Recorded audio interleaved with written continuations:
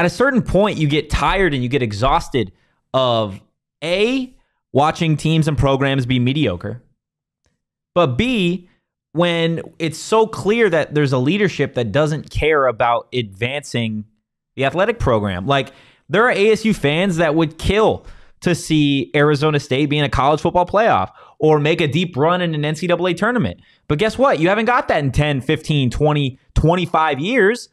And based off of who's in charge now, you're not looking at getting that in another 10, 15, 25 years. And that's not necessarily on the coaches, right? That's not to say that Bobby Hurley is not and cannot be a great basketball coach at this level. This is not to say that Kenny Dillingham can't and won't be a great college football coach at this level. But like when you don't have leadership that pushes this agenda of okay, we are going to put an emphasis on sports, it gets exhausting to be a fan.